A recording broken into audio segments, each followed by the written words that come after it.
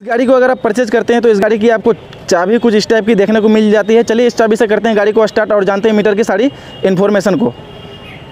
तो देख सकते हैं, इस टाइप से आप इग्निशन में की ईजी में लगा सकते हैं। तो एक बार की लगाने के बाद देख सकते हैं मीटर में फाइनली लाइट आ चुकी है तो मीटर का आप लुक वगैरह भी आप देख सकते हैं और यहाँ पर कितने किलोमीटर चली हुई है यहाँ पर आपको शो करती हुई देखने को मिल जाती है यहाँ पर आपको फ्यूल इंडिकेट करती हुई देखने को मिल जाती है यहाँ पर आपको गियर वाली सिस्टम मिल जाती है यहाँ पर आपको स्ट्रीट मोड लगी हुई देखने को मिल जाती है बाकी साइड में देख सकते हैं यहाँ पर आपको स्टॉप के बटन मिल जाते हैं यहाँ पर रन यहाँ पर आपको स्टार्ट के बटन देखने को मिल जाती है और नीचे से आप यहाँ पर लाइट को ईजी में जला सकते हैं और नीचे में आपको सेल्फ वाली स्विच देखने को मिल जाती है और इस साइड की बात करूँ तो यहाँ पर आपको हाई बीम लो बीम की जलाने की स्विच आपको यहाँ पर देखने को मिल जाती है और यहाँ पर आपको छोटी सी स्विच जिसके माध्यम से आप इंडिकेटर को ईजी में जला सकते हैं। तो चलिए इस गाड़ी का मैं आपको हॉर्न बजा के भी सुना देता हूँ दोस्तों।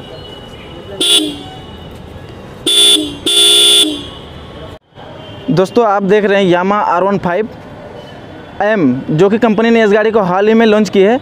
तो इस वीडियो में जानने वाले हैं कि इस गाड़ी का आपको प्राइस क्या पड़ने वाले हैं फीचर्स क्या मिलने वाले हैं माइलेज क्या मिलने वाले हैं तो सारी बातों को डिटेल्स में बताएँगे। बस वीडियो में बने रहिएगा चैनल पर नया है तो सब्सक्राइब करके बेल आइकन को प्रेस कर लीजिए, ताकि इसी टाइप की और भी वीडियो आपको देखने को मिलती रहे। तो चलिए दोस्तों, सबसे पहले हम स्टार्ट करते हैं इस गाड़ी की फ्रंट लुक से। फ्रंट लुक में आपको यहाँ पर एक वाइज़र लगी हुई देखने को मिल जाती है, जो कि काफ़ी बड़ी दी गई है।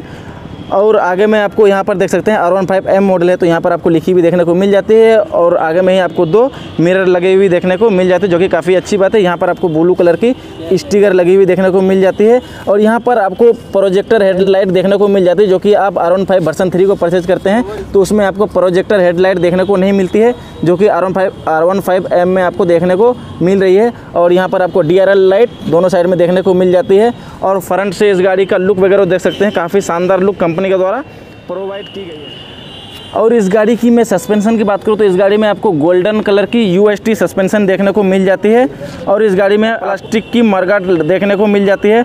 और फ्रंट टायर की मैं इस गाड़ी की बात करूँ तो इस गाड़ी में आपको फ्रंट टायर 170 की देखने को मिल जाती है, जो कि काफ़ी अच्छी बात है। और ब्रेक साइज़ की मैं बात करूँ तो इस गाड़ी में आपको दो सौ mm की ब्रेक मिल जाती है, जो कि आपको ये डुअल चैनल एबीएस ब्रेक देखने को मिल जाती है। पीछे में भी आपको एबीएस ब्रेकिंग सिस्टम देखने को मिल जाती है। बाकी साइड में आपको ये आर वन मॉडल है तो यहाँ पर आपको आर वन एम लिखी हुई देखने को मिल जाती है, जो कि ये इसमें आपको ब्लू कलर की स्टिकर लगी हुई देखने को मिल जाती है। और यहाँ पर आपको क्विक शिफ्टर यहाँ पर आपको इंडिकेटर लाइट और इस साइड से गाड़ी का लुक वगैरह आप देख सकते हैं। काफ़ी मज़ेदार लुक आपको देखने को मिल जाती है। और यामा की है तो यहाँ पर आपको यामा की ब्रांडिंग लगी हुई देखने को मिल जाती है। इस गाड़ी की इंजन की बात की जाए तो इस गाड़ी में आपको 155 सीसी की इंजन मिल जाती है। Liquid cooled single cylinder four stroke engine देखने को मिल जाती है। और मैक्सिमम पावर की बात की जाए तो इस गाड़ी में आपको 18.4 पीएस की पावर और 14.2 एनएम की टॉर्क देखने को मिल जाती है। गियर शिफ्टिंग की बात की जाए तो इस गाड़ी में आपको सिक्स स्पीड गियर देखने को मिल जाती है। और इस गाड़ी की मैं वेट की बात करूँ तो इस गाड़ी में आपको 142 केजी की वेट देखने को मिल जाती है, जो कि काफ़ी अच्छी बात है। ग्राउंड क्लियरेंस की बात की जाए तो 170 एम की इस गाड़ी में आपको ग्राउंड क्लियरेंस देखने को मिल जाती है। बाकी इस साइड से भी गाड़ी का लुक वगैरह आप देख सकते हैं। और पीछे में आप देख सकते हैं, इसके वाइजर पर यहाँ पर आपको वी लिखी हुई देखने को मिल जाती है और यहाँ पर आपको ब्लू कलर की स्टिकर लगी हुई। बाकी बैक प्रोफ़ाइल की मैं अगर बात करूँ तो बैक प्रोफ़ाइल से भी इस गाड़ी का लुक वगैरह देख सकते हैं, काफ़ी शानदार लुक देखने को मिल जाती है।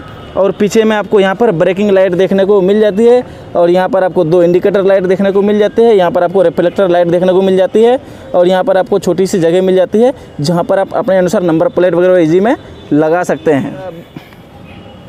इस गाड़ी में आपको बैक टायर 140 70 आर सेवेंटी का आपको इस गाड़ी में बैक टायर देखने को मिल जाती है। और बैक डिस्क ब्रेक की बात की जाए तो इस गाड़ी में आपको 220 mm की देखने को मिल जाती है। और साइड प्रोफ़ाइल वगैरह आप देख सकते हैं दोस्तों, कुछ इस टाइप की आपको देखने को मिल जाती है।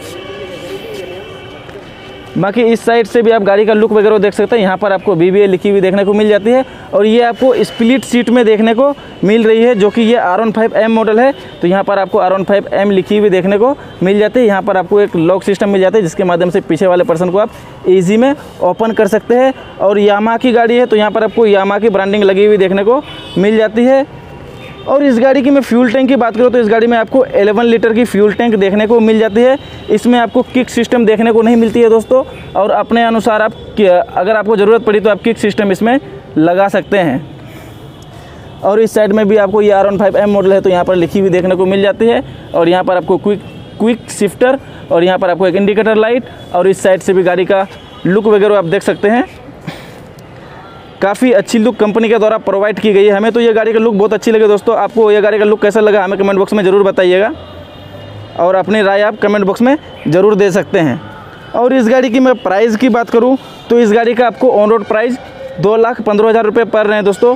और इस गाड़ी को आप लोन पे लेना चाहते हैं तो सत्तर से अस्सी हज़ार के बीच में डाउन पेमेंट करके इस गाड़ी को आप ईजी में ले जा सकते हैं और अपनी मनोकामना को पूरा कर सकते हैं।